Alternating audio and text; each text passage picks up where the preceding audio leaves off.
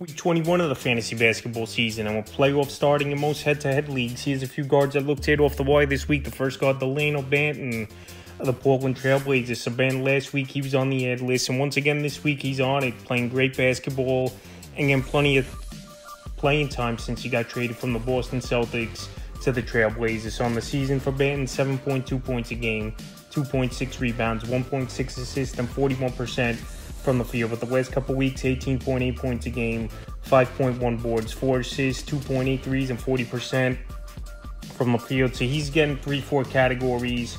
Is banned at minimum for fantasy owners, and he's playing huge minutes for this Portland Trailblazer team. And he's just making the most of his time now. Where obviously this Trailblazer team a lot of injuries. They've missed four starters over the last few games here. And taking advantage March 13th versus Atlanta. 12 points, 5 rebounds, 2 assists, 2 threes, 50% from the field. March 14th versus Knicks, 16 points, 2 rebounds, 2 assists, 4 steals, 2 threes, 30% from the field. And March 16th at the Pelicans, 28 points, 5 rebounds, 6 assists, 2 blocks, 4 threes, and 50% from the field. So Banton can hit the three ball. He can score the basketball, well, it looks like over the last few games. The only thing, field goal percentage and turnovers, he's going to hurt fantasy owners. But right now, if you need some scoring and a guy's getting major minutes, Banton's definitely a good add this week, available in 70% of fantasy leagues. Next guard is Duncan Robinson of the Miami Heat. So Duncan Robinson, we know his game's catch and shoot three point shooter. And that's about it, what he's going to give fantasy owners. But on the season, 13.4 points a game, 2.5 rebounds, 3 assists, 2.9 threes, and 45% from the field for Robinson. So we know he's a flamethrower. And he's hit more threes in his career than two point field goals by a large margin. Is Duncan Robinson. So he's the specialist shooting that three ball for the Heat. And if you need that in scoring, pretty much those the two categories.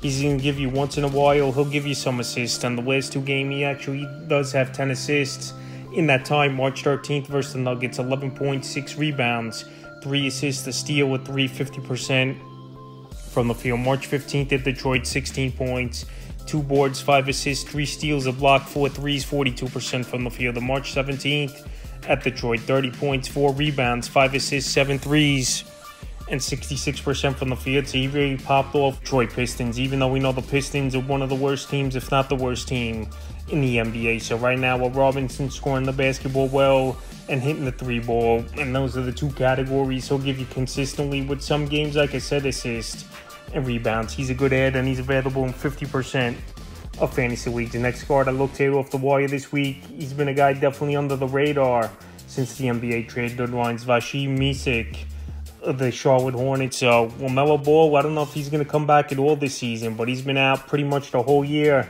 It seems like one injury after another. And with this Hornet team out of it, they're just going to play the young guys and see what they got for the future anyway. We know Ball's locked in to a big contract on the year 6.4 points a game, 1.3 rebounds, 3.7 assists, and 44% from the field. For the last couple weeks, he's been playing great basketball 15.9 points a game, 2.9 rebounds, 5.6 assists, a steal, 1.4 threes, and 50% from the field. So right now, Micic, he's been a big add over the last few weeks, like I mentioned. After he was in the Gordon Hayward deal dealt to the Charlotte Hornets and with ball out, he's playing major minutes right now, about 30 minutes per game is Micic. March 13th at Memphis, 25 points, 8 assists, 2 steals, 5 threes, 90% from the field. March 15th versus the Suns, 21 points, a board, 3 assists, a block, 58% from the field. The March 16th at Philly, 11 points, 2 rebounds, 4 assists, a steal, a block, a 3, 41% from the field. So he's scoring the basketball,